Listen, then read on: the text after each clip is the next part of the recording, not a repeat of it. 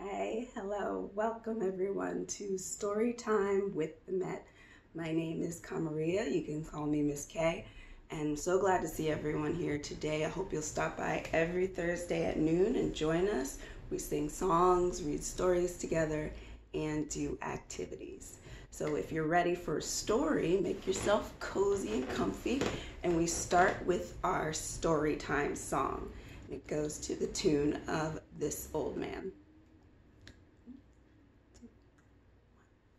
Welcome, friends. Get ready, get set for story time with the Met, where we love to read and sing and look at works of art and picture books. We use our eyes to look and see. We use our ears to hear stories. Now we'll take a seat and give a Let's begin with our first book. And our story today is The Fantastic Flying Books of Mr. Morris Lessmore. And this book is written by William Joyce, and the pictures are by William Joyce and Joe Bluhm. Fantastic Flying Books of Mr. Morris Lessmore.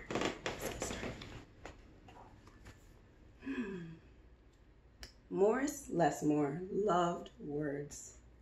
He loved stories. He loved books.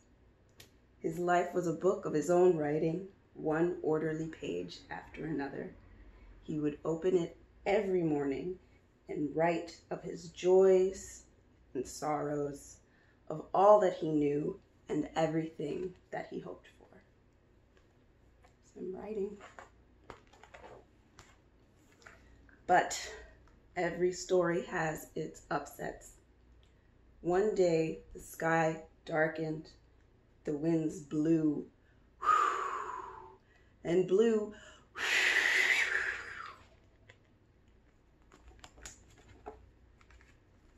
till everything Morris knew was scattered, even the words of his book.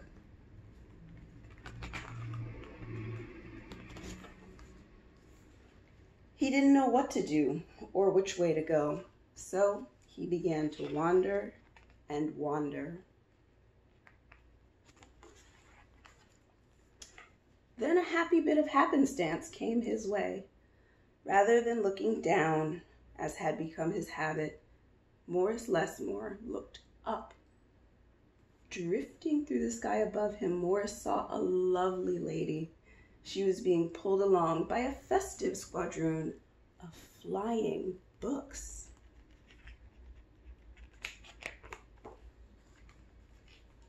Morris wondered if his book could fly, but it couldn't. It would only fall to the ground with a depressing thud. The flying lady knew Morris simply needed a good story, so she sent him her favorite, the book was an amiable fellow and urged Morris to follow him.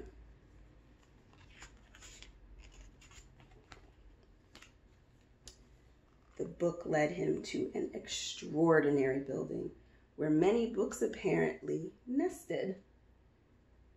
They nested there like birds. Morris slowly walked inside and discovered the most mysterious and inviting room he had ever seen. It was filled with the fluttering of countless pages, and Morris could hear the faint chatter of a thousand different stories as if each book was whispering an invitation to adventure.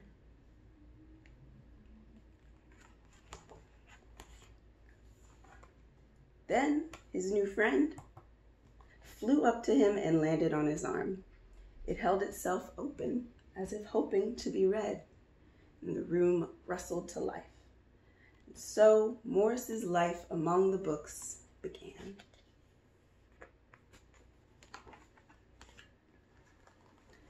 Morris tried to keep the books in some sort of order, but they always mixed themselves up.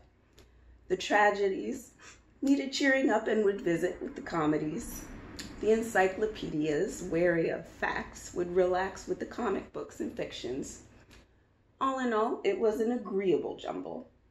Morris found great satisfaction in caring for the books, gently fixing those with fragile bindings and unfolding the dog eared pages of others. Books. Sometimes Morris would become lost in a book and scarcely emerge for days. This is Morris lost in a book. Looks fun. Morris liked to share the books with others. Sometimes it was a favorite that everyone loved, and other times he found a lonely little volume whose tale was seldom told. Every story matters, said Morris, and all the books agreed. At night, after all the stories that needed telling had been told and everyone had settled down to their proper places on the shelves, the great big dictionary would get in the last word. There's a bunch of Z's, which as we all know means it was then that Morris Lessmore would once again write in his own book. He wrote of his joys and sorrows, of all that he knew and everything that he hoped for. The days passed. So did the months. And then years and years. What's happening to Morris? And Morris Lessmore became stooped and crinkly and got older. But the books never changed. Their stories stayed the same. Now his old friends took care of him the way he had once cared for them, and they read themselves to him each night.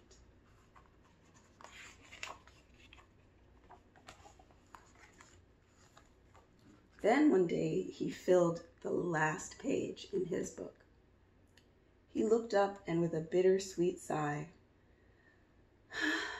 I guess it's time for me to move on.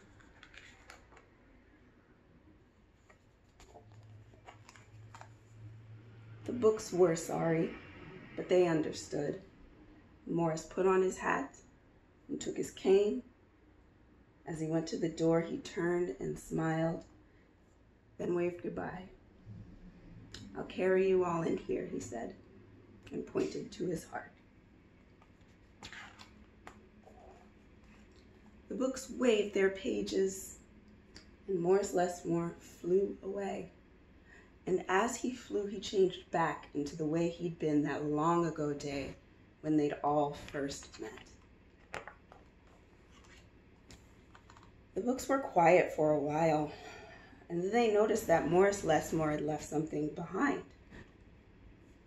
It's his book, said his oldest friend. Inside was Morris's story, all of his joys and sorrows, all that he knew and everything that he hoped for. Then the books heard a small, expectant sound. There in the doorway was a little girl, and she looked around with wonder.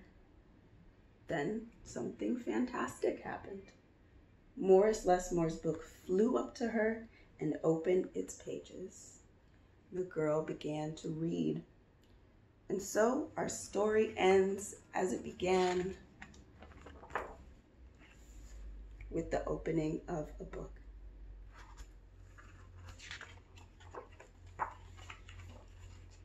The end.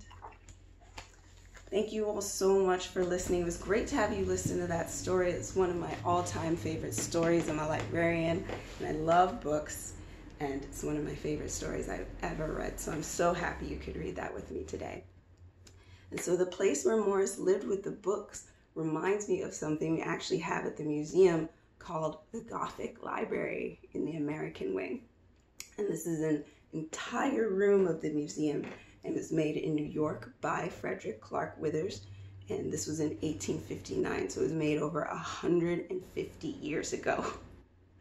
Uh, and back then, people had libraries in their homes as places to relax and places to feel cozy. And maybe some people even read stories to their children in there, like we read today. And this library isn't big like a public library, it's small. There's lots of warm light and brown colors and big windows. It has wood furniture, leather, and has lots of intricate patterns and pretty designs in the wood on the furniture. But what do you think of this room? How would you change it? Would you change it to make it more cozy for you? Would you have different chairs or maybe paint it a different color? Would you want to add more books and bookshelves? Because that's what I would do. I don't think there's enough bookshelves in there for me. But before we say goodbye, I want to show you a project you can do at home for your books. And we're making bookmarks. And so if you've ever heard the phrase, have your nose in a book, that's what these bookmarks do. They have little noses so you can slip them over the pages in your book. So to get started, you're gonna need a piece of paper and some scissors, uh, or grown up to have big scissors or a craft knife, an X-Acto knife to cut out the nose. And then you're gonna need glue stick and then whatever you like to draw a color with. So I had pencils and pen, there's markers, whatever you like to color with. And then also if you have googly eyes, if you have glitter, you have stickers, bring those too if you want to use those to decorate your bookmark. So first you're to take your piece of paper, make sure it's wide like this, and you're going to fold it in half. And then once you've done that, you're gonna fold the edges into that crease, that line in the middle called a crease. And once you've done that, you should get something that looks a little like a door. See? And so you close the door and fold the door in half.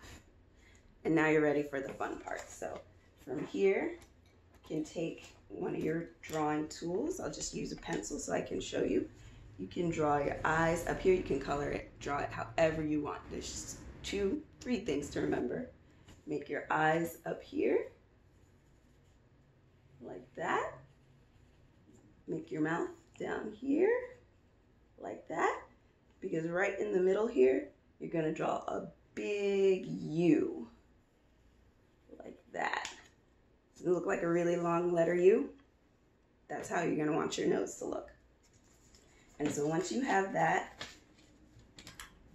you can unfold it and to cut the nose out, you can either take a pair of scissors, fold it just a little bit and snip right there to cut up the sides, or you can use have your grown-up use a craft knife or an X-Acto knife to cut it out for you. They'll know what that is. All right, so once you have that cut out like so, open it all the way back up and you're gonna take your glue stick. And you want to glue this side and you want to glue right here, but not the nose. Don't put any glue on the nose. So once you've glued that, you close your doors again. And then you're to glue this part. You can do one or both sides. Glue this part. And then close it again. And then after that, you're all done. And I'll show you on more is less more. You just slip them over the page like that. And you saw on mine, I added, I used some yarn, some string, and gave mine little hair. I used purple to color eyes. You can also use colored paper, construction paper. I made this one out of origami paper that has two colors, so when you lift the nose, has a different color inside. Gave him some hair too. So however you'd like to do it, just make some fun books for your friends your friends the books, that is. All right, thank you all so much for coming. We look forward to seeing you next time. Hope you enjoyed our story and our activity today. Bye.